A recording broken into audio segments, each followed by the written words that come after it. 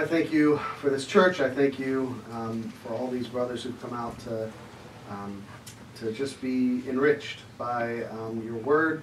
Um, God, I, I, pray for Ivan, who's uh, prepared uh, all of this content for us. God, I pray that it would be a, a um, productive session. Um, I pray that uh, we would all get something out of it and that we would all be able to contribute to it, Lord.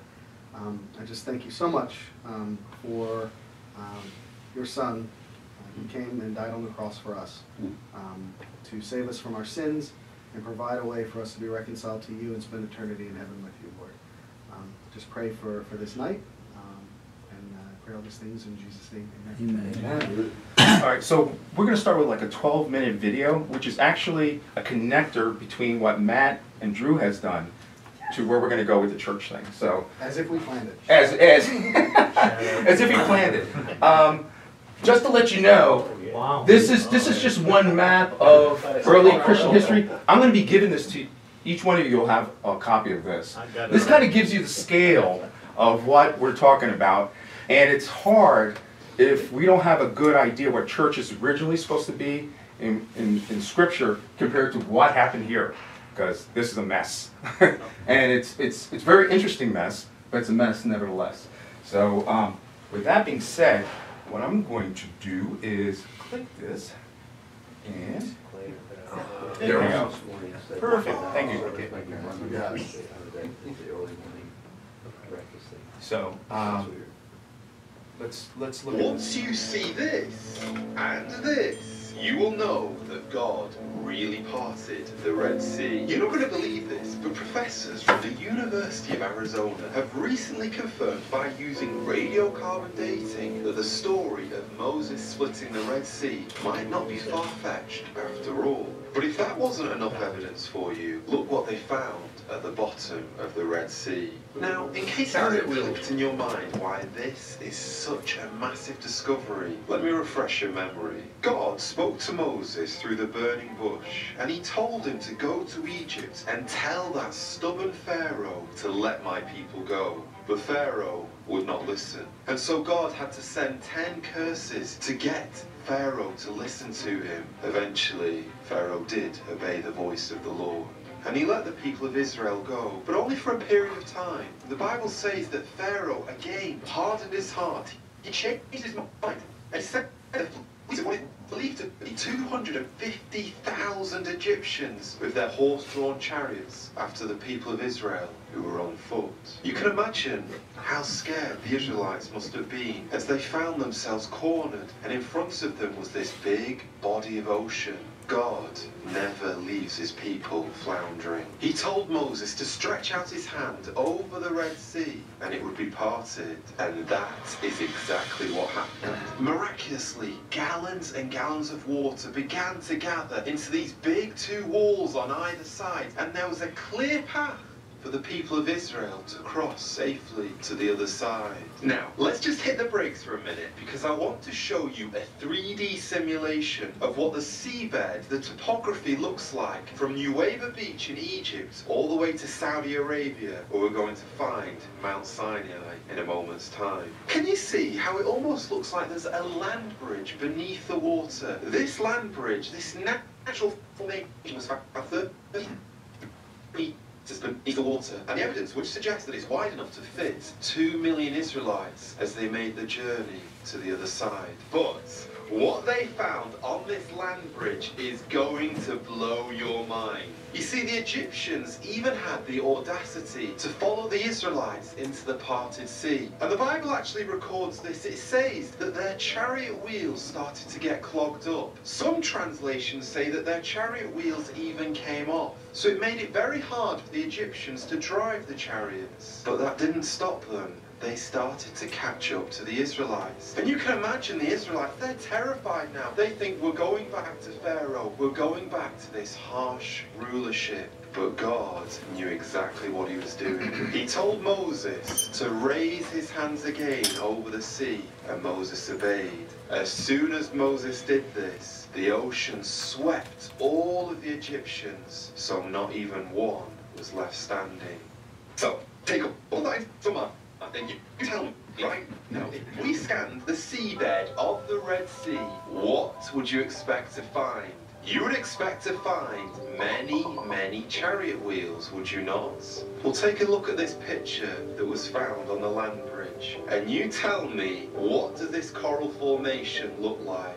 It looks just like a chariot wheel. But get this, when scuba divers went down with metal detectors, they found circular patterns that were consistent to the exact shape that you would expect to find on a chariot wheel. Now come on, even if you're the biggest atheist on earth, you've got to admit to me, that's pretty strong evidence. Now, this is crucial. For many, many years, the popular tourist destination from Mount Sinai was in Sharm el-Sheikh in Egypt. That's where everyone went, that's where everyone believed it was. But now, as we look at this evidence that I'm going to show you in this video, and as we listen to what the Saudi Arabians have said for many, many years, they claim that no, Mount Sinai is our country in Saudi Arabia. In fact, I want you to do something. Just listen to this American pilot describe what he was forbidden to do in the 1940s when he was in Saudi Arabia. And we're talking about where the real Mount Sinai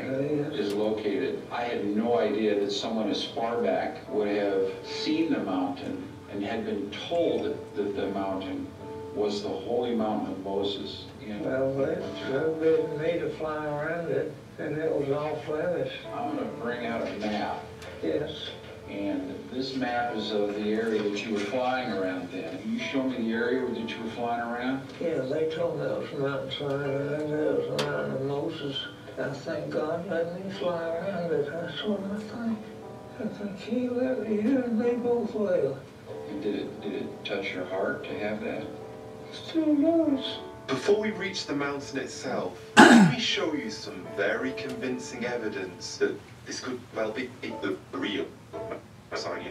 In Saudi Arabia, there is an archaeological site called Moses' Well. Islamic sources, which go as far back as 900 AD, claim that this is the well where Moses watered his flocks and met the daughters of Jethro. But what about this? In the Bible, we read about Moses and the Israelites finding this beautiful desert oasis called Elim. At Elim, there was many springs of water and 70 palm trees. So now cast your eyes onto this collection of palm trees, which is found reasonably close to the supposed Mount Sinai.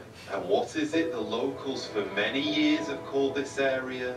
They also have called it Elim. But here's some more compelling evidence for you. We know that Moses, after writing down God's laws in the Book of the Covenant, set up an altar for burnt sacrifices. Well, here is an ancient altar made of uncut stones, just like the laws. When it was dug up years earlier, you know what they found? The remains of many animals. We also know that because the Israelites were disobedient, 3,000 people were struck down. And some actually believe that these gravestones right here could be the gravestones of those who worshipped the golden calf. If you look here, you can see what appears to be mortars that are dotted all the way around Mount Sinai. And it's been speculated, could these be the mortars that were used to grind the manna every single day? And just here, inside the archaeological area, we see carvings of the rock of what is quite clearly calf idol worship. But not only has idol worship been recorded, there's also been found ancient Hebrew menorahs found on the rocks around Sinai, which again is more possible evidence that the Israelites were here, and this is in fact the real Mount Sinai. But here's what's kind of scary. These menorahs have since been erased the reason why people are trying to get rid of the evidence. But for me personally, this is what I'm most excited about. Josephus, the Jewish historian, said that the rock of Horeb was so big that it couldn't be moved. And this split rock right here is estimated to be between 40 and 60 feet high. And inside the rock, it's smooth with grooves that clearly show some kind of water erosion, which is kind of strange to find in the middle of the desert. in Saudi Arabia. But most interesting of all, this rock is found at the foot of the Mount Sinai that we're about to look at in a moment's time. But wait a second, Joe. You haven't even told us what the rock of Horeb is yet. well, when the people of Israel were in the wilderness, they began to get very thirsty. And so they started to complain to Moses. Moses, you've led us out into this wilderness for us to die of thirst. And Moses took all of this to heart and he cried out, God, what do you want me to do with this people? This was the Lord's response. Behold, I will stand before you there on the rock in Horeb, and you shall strike the rock, and water will come out of it, that the people may drink. So Moses obeyed God and struck the rock, and out of it flowed abundant water, and the people drank and were satisfied. Now, Everyone listen to me, because when I saw this for the first time, I could not believe my eyes. You see, thousands of years ago in the wilderness, thousands of years ago when we look at the rock of Horeb, God was demonstrating a picture of the cross. How do I know that? Because the Apostle Paul says that rock was Christ. You see, when Moses, an imperfect human being, struck the rock, it was a picture of when Christ would be struck by imperfect human beings. There on the cross, the Lord Jesus Christ was smitten, was beaten, was struck by sinners. So you might gather sins. So there Christ's body was broken. He had nails through his hands and his feet. He had a crown of thorns smashed into his skull. His beard was plucked out. There the Lord Jesus Christ bled and died so that we could be forgiven. And just like that rock, was split in two and water flowed out of it, abundant water. When the Lord Jesus Christ's body was broken, when he offered himself as a sacrifice, also out of his life flows abundant living water. And just like the water at Horeb was free, so this water is free. The waters, the rivers of forgiveness that flow out of Christ's life are totally free. And I'm asking you today, are you thirsty? If you are, come to the Lord Jesus Christ and drink of his water. Because I'll tell you something, Jesus Christ is the rock of our salvation. The Bible also calls Jesus the cornerstone. And what was the cornerstone? It was the rock that builders built everything around. It was the basic, it was the foundation rock, and everything else depended on the cornerstone. And I want to ask you, are you building your life on the Lord Jesus Christ? Or are you building your life on other things. I remember when I was a little boy learning about Moses in Sunday school. And I used to read this story and I used to think it sounds a little bit harsh that Moses was not allowed to enter into the promised land. Why was that? Let me tell you why. In Numbers 20, Moses finds himself in a very similar situation. Again, the people are complaining. Again, the people are thirsty. Again, they're saying, We will die unless you give us something to drink, Moses. So again, Moses approaches the Lord and says, What should I do with this people? So God says to Moses, I want you to stand in front of another rock, but this time I want you to speak to the rock. And when you speak, water will flow out of it. So Moses stood in front of the rock, but what did he do? He struck the rock, just like he did at Horeb. Now, why was that a serious thing to do? I'll tell you what, because you See, the Lord Jesus Christ only needed to be struck once. He only needed to be crucified once. Before there was many sacrifices, before there was many offerings that the people had to do as a way of atoning for their sins. But when Christ died on that cross, it was sufficient. It was a once for all act, and never again did Christ have to be pinned to that cross because forgiveness can be found through that one act. What Jesus did was enough. And really, that is why God had to discipline Moses so harshly, because he did not want to send out a confusing message to all the myriads of people who would read the Bible years later. And there is one more reason why Moses wasn't allowed into the promised land. You see, Moses represents the law, and the law will not get you into the promised land. The law will not get you into heaven. No, you need a Joshua. What does the word Joshua mean in Hebrew? It means Yeshua. And what does Yeshua mean in Greek? Jesus. You need a Savior to lead you to the promised land. It is only Christ who can take the people to heaven. And that is why Joshua was the one who led the people into the promised land, and Moses was not allowed to enter. But let's just make something clear right now. Moses will be in heaven. In fact, we know that Moses is with Christ right now, because on the Mount of Transfiguration, the Lord Jesus Christ turned up with Moses and Elijah. Okay, you've waited long enough. Here is what I believe is the real Mount Sinai. The Bible says, Now Mount Sinai was completely in smoke because the Lord descended upon it in fire. Its smoke ascended like the smoke of a furnace, and the whole mountain quaked greatly. And that, my friends, is why I believe this is the real Mount Sinai. You can see it's got blackened peaks as if it's been scorched by fire. And even geologists are really perplexed at why it's only black on the outside and on the inside it's completely normal, like normal rock. As if it's been melted. Something rather incredible is this. You can notice a sort of pulpit where you can imagine that Moses would address the people and use this natural amphitheatre. And if you want to know all about the Ten Commandments and what they mean for us today, you need to see this video right now. Once you see this, and Okay. All right. Um, I wanted to play this um, because it has implications for us in our apologetics. And it's, it is proof for us that God is real, God is not dead. God has never left, God's never going to leave. And that we, we're, we're now beginning to see proof of his existence and what he did. And it's a comfort for us um, to know that when we're reading scripture, right, there's a confirmation there uh, and a validation that there's truth. Uh, I think it's an incredible um, honor to go ahead and, and be in his presence, knowing that these are the things he did before us to teach us what's going to happen today.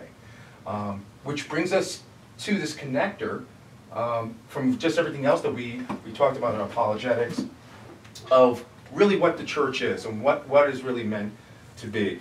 Like I mentioned before, this is, this is for next week and we can talk about various different parts of that, but this is gonna be a takeaway for you to look at. Uh, But what, what is church? You know, what do you think church is? Um, So I'll give you the, the Greek word translated church in the New Testament is ecclesia. The literal translation of ecclesia would be a call-out assembly. Not too different than what happened in the Old Testament there. Um, Etymologically, um, speaking, the word church means house of the Lord. The modern word church is a direct descendant of Old English, of circe or circa. Uh, First recorded use of Old English word is from the 13th century, and it could refer to either the body of Christian believers or to a place where they gather. But it goes back to really what is church? Can someone please tell me what do you think church is? Dave, can you tell me what a church is? Um, assembly of brothers that believe that Christ died for our sins. born again believers. Born again believers? What else? What else? It's okay. This is meant to be interactive. That's right. yeah, I mean, what do you think church is? I mean, it, we go to it. We go to it, um, you know, at least 50 times a year. We go to a Sunday service, okay? There's a reason why we go, right? You know? Ricky, what do you think church is? Uh, a place where people get together to praise God. Okay. Harry? Oh, not Harry. Ron? Same thing. Yeah? Place for us to assemble, and praise God. yeah. Rod, what do you think? Well, it's obviously called that assembly, but uh, it's important to know that when the scripture tells us that, don't you know your body is a temple of the Holy Spirit.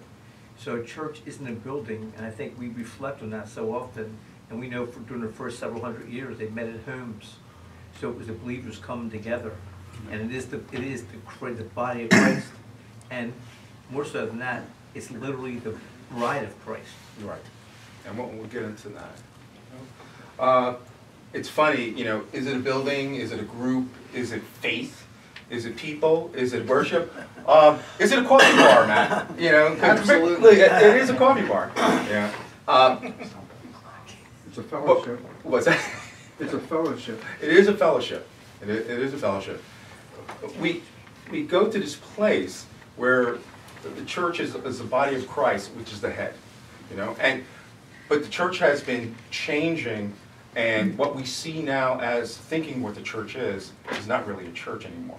It's, it's more of a consumer item. It's more of a, of something that, um, there was a funny video that I saw um, a, a satire of a young couple trying to find a church, and they had like almost like a real estate agent uh, taking them to different churches, and then they were comparing all the different. What do you like? Uh, yeah, what do you like? Yeah, what do you like? And um, um, and and it was really it's a sad commentary about where, where church is right now, because we've kind of lost the the genesis of what church was meant to be to what the consumer-driven church is all about, and when we did the mega churches and everything. But the church is the body of Christ, the head. Um, it- it's formulated like this, where Jesus Christ is the overseer, and to Rod's point, the Holy Spirit is our protector within the church itself. You know, um, the Bible is the guideline. So if you're, you're thinking of a sort of a hierarchy or an organizational chart, that's what happened. You know, what drives what drives all churches is a, a statement of belief, um, and the doctrine is what we stand for. You know, uh, there's there's a pastor and elders usually handling uh, spiritual leadership, deacons and servants that are handling the physical leaderships, um, and and this also expands to various different things. But you know, group ministries, we were very we're used to that, and then the area ministries there. Um, nowhere is there anything about you know bands or anything like that, um, but that's usually the the commonality of their how we moved away from that. It, it's pretty telling. Okay. Uh, For just as the body is one and many members are all the members of the body, though many are one body, so it is with Christ. For in one spirit, Rod, for in one spirit we are all baptized into one body, Jews or Greeks, slaves or free, and all we made to drink of one spirit. For the body does not consist of one member, which, so when we're looking at this, we're looking at a combination of people where the temple in the Old Testament was almost like a brick and mortar with, over there, and it looked like this, where the Spirit or our Lord was over the temple, there, and it turned to this. Mm. So, where the Spirit of God who raised Jesus from the dead lives in you, and just as God raised Christ Jesus from the dead, he will give life to your mortal bodies by the same Spirit living within you. So we are, the church is a combination of believers that come in there. Does that make sense to everybody? Go uh, ahead. Yeah, I've got a good definition mm-hmm. from 1 Peter chapter 2 verse 9. But you are a chosen generation, a royal priesthood, a holy nation, his own special people, that you may proclaim the praises of him who called you out of darkness and into his marvelous light. That's wonderful. Amen. Amen. Um, The church is the bride of Christ. Um, And when we look at at the bride of Christ, we also have to look at what God did in Genesis, when he created man and woman to be together, not having man to be alone. Our God is a God of one of relationship. God always wants to have his relationship with his people. So the metaphor of that is to have the bride there of having continued relationship of those, and I'll use the word elect in that. And we can talk about that later. But the church is the bride of Christ. here on earth and in glory. And glory, yeah, absolutely. For no one ever hated his own flesh, but nourishes and cherishes it, just as Christ does the church, because we are members of his body. Therefore, a man shall leave his father and mother, hold fast to his wife, and the two shall become one flesh.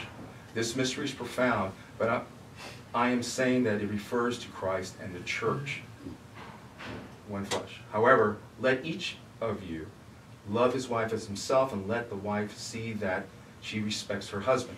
So, digging deeper into this text, we're looking at what God wants from his people there as being one flesh with him. And that's continuing through here, as John was saying, and, and heaven. Okay. The church is a family of a house. Excuse, excuse me? Amen, family. Amen. The church is a family or a household of God. Mm. Um, and said, For all who are led by the Spirit of God are sons of God. For we did not receive the spirit of slavery to fall back into fear, but we have received the spirit of adoption as sons, by whom we cry, Abba, Father. The Spirit Himself bears witness with our spirit, for we are children of God, and if children, then heirs, heirs of God, fellow heirs with Christ, provided we suffer with Him in order that we may also be glorified with Him. Very powerful text here of just claiming what it is to be adopted into Christ's kingdom. Um, okay. And the church is the temple of God. Or do you not know that your body is a temple of the Holy Spirit within you, whom you have from God? You are not of your own, for you were bought with a price, so glorify God in your body. So imagine now that we have the Holy Spirit within a church body, not here in the brick and mortar, but a gathering of believers coming together. The Holy Spirit is on top of this and working through us on this there. Within our own selves, within the temple there, we have set. Uh, it's, a, it's a miracle. It's, it's a glorious miracle that this has happened to us. And when we look at it from this perspective, there, there needs to be a certain reverence that happens when you have a body of believers, brothers and sisters in Christ, the community, the spiritual community come together of understanding who our Father is within that. And we've lost that. We've lost that, that piece of reverence, and we need to bring that back. I'm not saying here, but in this in general, with so many other outside influences there. Um, the church is the flock of God. Uh, pay careful attention to yourselves and to all the flock in, in which the Holy Spirit has made you overseers to care for the church of God, which he obtained with his own blood. Uh, And the church is the pillar and the support of truth. And this is a major catastrophe right now happening in Christendom, where truth is just what you think it is, and not scriptural truth that's happening there. Um, he must hold firm to the trustworthy word as taught, so that he may be able to give instructions in sound doctrine. And this is really important for us in apologetics, also to rebuke those who contradict it. And, and it is really up to us to stand up for what God's word talks about. We don't have to be nasty about it, but we have to be able to defend it. And we have to be able to communicate it in love, but what hold firm to what God is telling us. Does that make sense for everybody? Okay. Um, the church is the kingdom of God. Which, when you start thinking about that, the kingdom of God that we're in here on every Sunday, we're going there. It can be overwhelming to think of it that way. We, we kind of can be very flippant about that. Are your slides supposed to be advancing while you do this, or is, are we still on this one? Because No. you're hitting your button, I thought maybe or you're moving slides. Oh wow, is it going? oh, it's not going. We're still a family. Oh, you still offended? No, the church is still. Yeah, oh my God. Okay, I'm sorry, guys. That was a test, Mike, you passed. I'm glad someone said something to me about that. Oh, boy. There we go. Church is the kingdom of God. And to, to Drew's point, so, uh, hold on. Okay, we're back on. It Says, and he put all things under his feet and gave him as head over all things to the church, which is his body, the fullness of him. He fills all in all. Ephesians 1, 22, 23. So, for some reason. And the church is the community of all true believers of all time. True, true believers. True believers. Okay. And please weigh in on, as I'm going through this, and, because, like I said, t- the goal for today is to get the baseline there, so when we look at church history next week. Well, I guess I'd, I'd, I'd uh, try to qualify what Brutum is saying. I don't know what the context was for that, but, you know, the, the Old Testament believers, which, who were believers, obviously, in the Lord Mhm. for all time, wouldn't be part of the church. So I'm not sure what is, what is he's, he's exactly saying there. I think what he's saying is all true believers in Christ for all time. Um, and since, um, you know, like if you're talking about like Old Testament, like Abraham, Right. um, he wouldn't be a believer in Christ, right? Well, he Not- not qualified, in- it- not- he qualified by saying the church. Mm-hmm. So that's obviously, since Pentecost. But he's defi, he's defining the church, yeah. Didn't it actually start Yeah, in but Acts didn't they two believe the forty-two? Messiah, they believed that the Messiah was gonna come. Right. So they did believe, Yeah, they had they hope. just weren't there yet. Right. They're not the church. David Jeremiah says they became Christians on credit. Wait till they get the bill. Ivan, is he dispensational or is he reformed? We're not gonna go there yet because, because, uh, that's a question I wanna, towards the end of this, I wanna, I wanna talk about that. Um, I think he is dispensationalist, but, but that being said, it's, it's a bigger, it's a bigger question towards the end of this. Um, The church is the elect, so the church is the elect. You- Those are the ones that have been chosen there. Outside of what we do in terms of our mission, having our doors open, show, showing the world our love, Christ's love through there, but it is for the elect. And, um, and that's very, very important to understand it. It's not a mall, it's not an open door retail store, it's not any of that. The church was made for people in Christ. That's, does that make sense to everybody? Because that's really a hard one for people to swallow, you know? Because there's a, there's a, al- often hear is, the church is a hospital for, for people, you know? And they kind of make these errant, like, just suggestions there. But the original premise of this thing, and this has a lot of implications there. Um, One, not too far away from John three sixteen, and what does John three sixteen actually mean? So, uh, you have to think about who, or uh, who Jesus died for, and what the church is for, and what's going on there. And people struggle with this, they, they really, really do, uh, to try to get there because of just their whole paradigm thinking of what church is meant to be. But, Does that, that make sense to everybody? Okay. Oh, don't do this. Not again. No, there you go. Okay, good.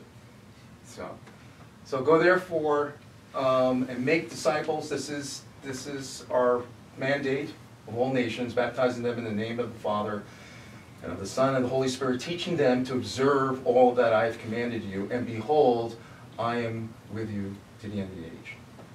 This is it. Not any more complicated than that. That's what the church, that's what we're supposed to be doing, mm-hmm. okay? It's, it's there. And finally, brothers, rejoice, aim for restoration, comfort one another, agree with one another, live in peace, and the God of love and peace will be with you. That's the underpinnings of what our mandate is supposed to be. This is the emotional tie that we have for each other. Um, And churches struggle with this part, very much so, there, especially if you're making it into a product. Uh, So what does a church do? And, and and what runs the church? So can we talk about what does the church do? What, what do we do? You just quoted the mandate. Right, but in your mind, what do you think a church does? What do you, Phil, what do you think a church do?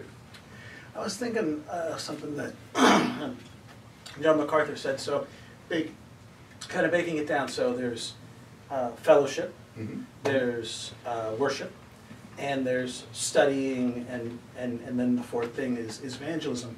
But what he said was, you know, fellowship, we will fellowship perfectly in heaven. Mhm. We will, uh, we will know as we are known perfectly in heaven, and we will worship perfectly in heaven.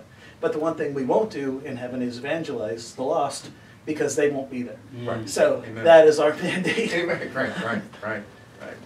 Anybody else? I think of 1 Corinthians 4, where it says we're ministers of Christ and stewards of the mysteries of God. So as uh, ministers, we- you bring forth the truth, you make that freely open, and then as stewards, you run the show and you protect the mysteries, for Mhm. example. And uh, so Right. you have to know the minis- the mysteries and not letting it diluted, like it- you were talking about. And so you have to be a bulwark, you have to stand against the the tide. Mm, good point. When heresies arose, they were actively opposed. Right, right. Yeah. Many people uh, point to Acts uh, 2:41 and 42. Yeah.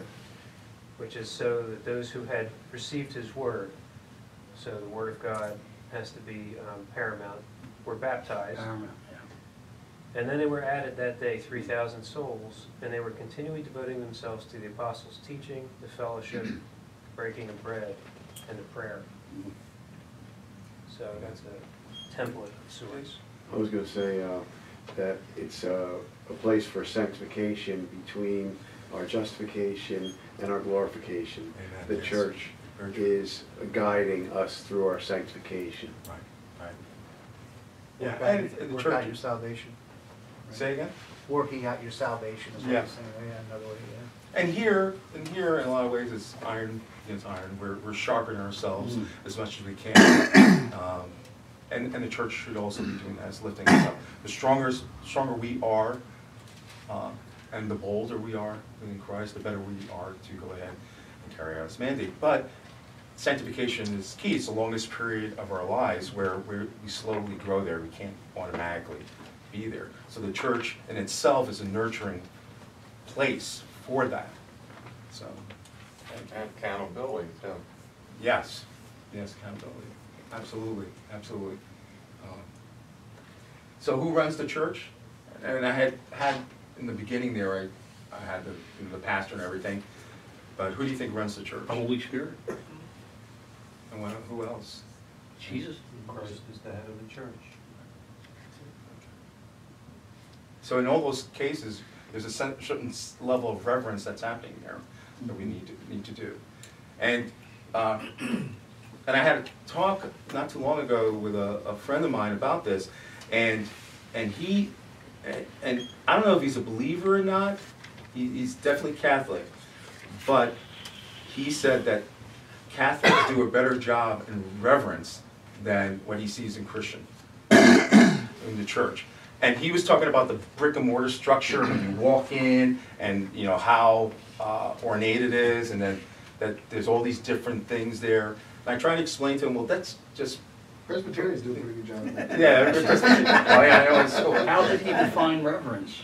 But, uh, just like you're, you're in awe in the, in the place that you're there. You're, you're, in his eyes, it was like you're in awe in the presence of God. Like you come into a church, you- but it's very distorted because. Very vague. Yeah, yeah. And I, th- I think there's a real misnomer there on a lot of um, Catholics' part, because it, Mhm. it's like there's reverence and all when you're in the building, Right. but when you're outside the building, Oh, yeah. like, Yeah, there's I- a whole different persona. Oh, absolutely.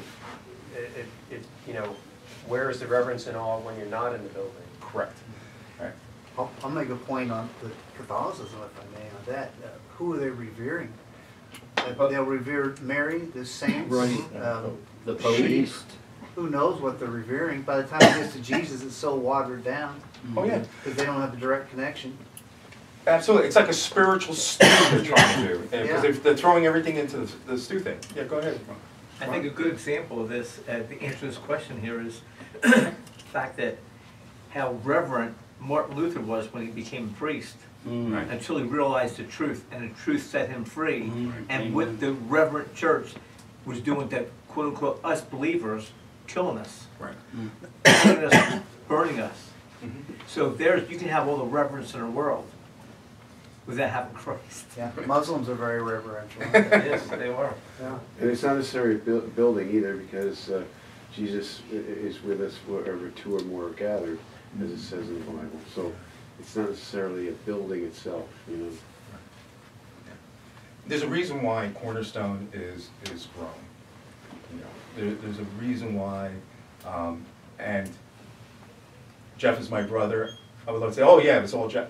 No, the, the Holy Spirit is over this ministry, and the truth is coming out, and the people who are coming there are looking for Truth. for, for truth and for God and Mhm. for and for a, a fellowship and a community and a family that's outside there.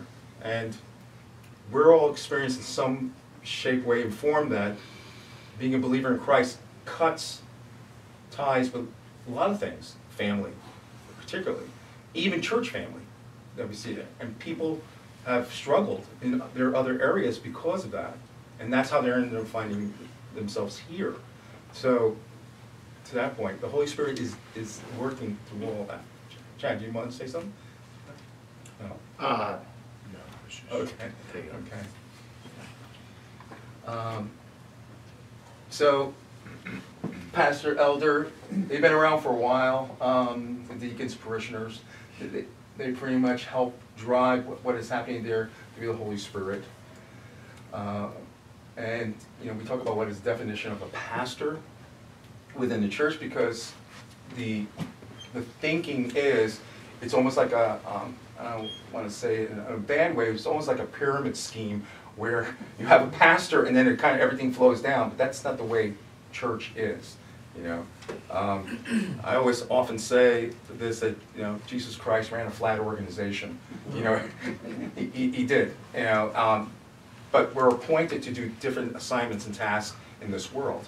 And it could be a pastor, it could be an elder, it could be a parishioner that makes the different types of impact. Uh, And there's something I'll, I'll talk about right at the end there that personifies that. Um, But, but he is a shepherd. but he is the shepherd, right? And he is, and, and the thing is, is that when you look at, when you look at this list over here, all right, these three will be held accountable to what happens with this over here. We will be held higher standard accountable to the Lord and what happens I, there. I think even Ivan, the par- parishioners are gonna be held accountable for what they do and what they say within the fellowship. True, true. But to, That's why we need to be certain that we know the scripture and that when we speak it to another person, we are speaking the truth as it's intended to be spoken. yeah, amen, amen. Um, So the definition of a pastor, the shepherd, you know, English, uh, English language translation of the New Testament usually render the Greek noun honum, um, as shepherd. And so we are meant to help feed the flock of the church there and do that. And that's what Jeff does, that's what other people do um, here. Okay, so but what a church is not, all right? It's not a country club. It's not a members only, it's not legalistic, not based on works. Um, Number four is probably the most damaging thing. It's it managed by a small faction. You see a lot of church breakup because there's a group that runs the church almost with an iron fist. And they don't, they really don't allow the Holy Spirit really working within the church. Um, We're seeing a lot of this about places, emphasis on cultural relevance, which is the whole woke and all that stuff that's happening there. And then there's a lot of mega churches that really, uh, they make worship music the really the front and center of what's happening within the church itself. We're none of those. We're not meant to be any of those. Although, I would say that it's important to become a member of a church. Yes, yes. While it's not a members only, meaning it's exclusive to only members, Mhm. um, it's, you know, becoming a member of a church puts you in a position to be accountable to brothers and sisters in that church. Absolutely. Right, as opposed to basically, I kind of equate it to living together before marriage versus marriage. You can leave anytime you want, um, in the, in the former versus the latter. Uh, okay. Oh, what happened, what happened now? I know. Uh, here we go again. Uh, I broke it. Oh, boy. Here we go. So, Go- Going back to the, the awe of going to- into a church, like uh, St. Andrews, for example, which is uh, a church at RBC. Mm-hmm. I, I love going to that place, and it's, you know, the, the sort of ambiance of it all, right? It's, um, it's definitely awe-inspiring, but again, that's man-made earthly ambiance that you're in awe of, not the creator of the universe who, um, you know, spoke the universe into existence, um, and, and is all powerful and all holy and all just. Right. And that's really what we should be in awe of, not the ambiance of the place that we happen to be worship, worshiping that creator uh, in. So, um, while, while the ambiance is great, I love it. I, I mean, I get caught up in it as well. Um, that really shouldn't be the focus. And, and it's funny, to to piggyback on that, um, what we have with these mega churches that are so huge, and then they, everything is so big, that you have a, a large segment of the parishioners that don't do anything. They're not accountable for anything.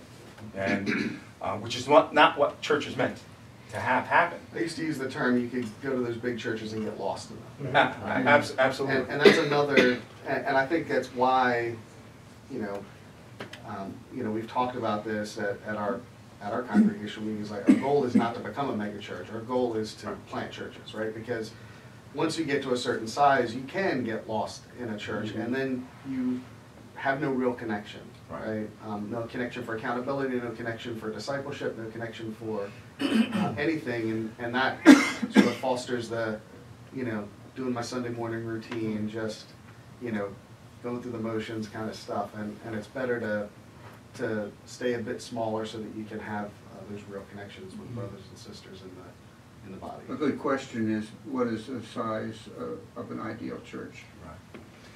Yeah, uh, for, for me, actually, I actually wrote a paper about this, um, which caused a little bit of controversy. Um, my, my ceiling for uh, a church, uh, uh, this is when I was in school, they were like, what?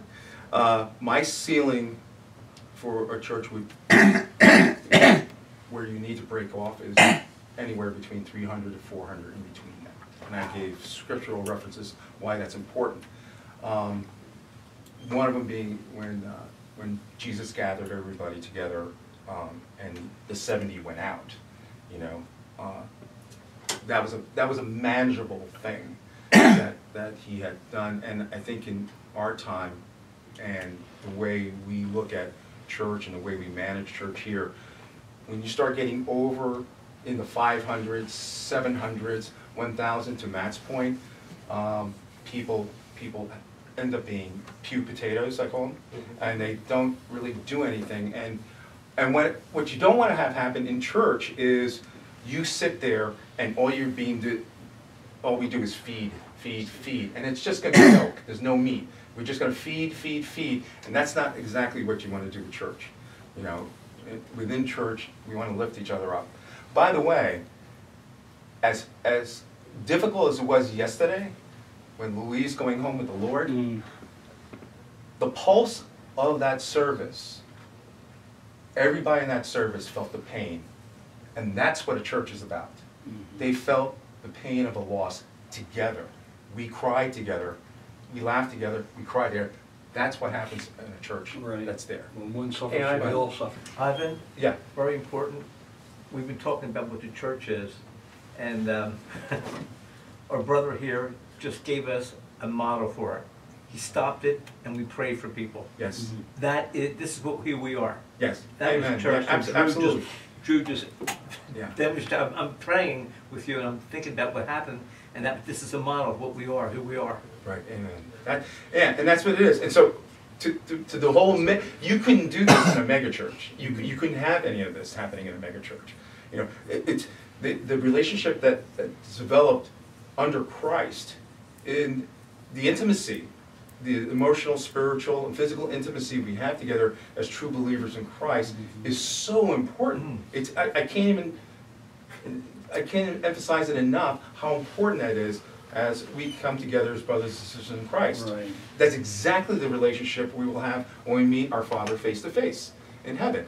It's that closeness there, that bond that happens there. And we felt it yesterday. Mm-hmm. We felt it. We all felt the pain of it, and we all glory, glorified the Lord to take her home, you know, that she isn't suffering anymore. Mm-hmm. And we thank Him for that. But we also feel the pain of that. Following up on what Rod said, in a mega church, it, we can't, when one part of the body suffers, we can't all suffer like we're supposed to. And when one part of the body rejoices, we're all to rejoice. Right, right. That can only happen when, a, when we're flattened out. Right. And I can tell you from my past experience of when I was going through the throes of cancer, mm. um, Which, that there were glory to times. God that you, you're going through remission now. Yeah. Praise God, amen. But there was there was a there was a, mm-hmm. a point there where I knew my brothers and my sisters were praying for me. I, I knew it. I, I, I just knew it. Amen. And, and I and that was a certain level of peace that was in my heart about what was going on with this thing. That no matter what happens, um, I'm gonna be okay. I have my family here that's praying for me, and I have the Lord there. And so, what a wonderful place to be, you know, as scary as it possibly can be. And I'm sure Dave, yeah, Bill. We'll finish. We'll just- Yeah, I'm done. Well, I was just gonna say, the one thing with the mega church, our, our son in Atlanta went to a mega church. Mhm.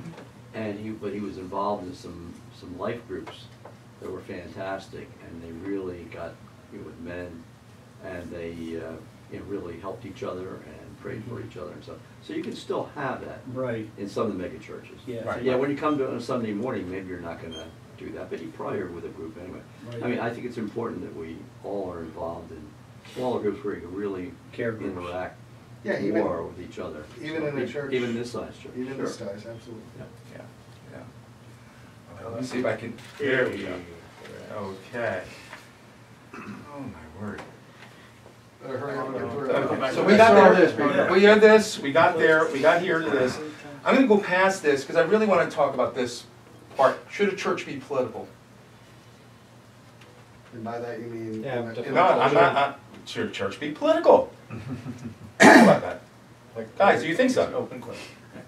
I think where it points out truth and error, yes. Mm.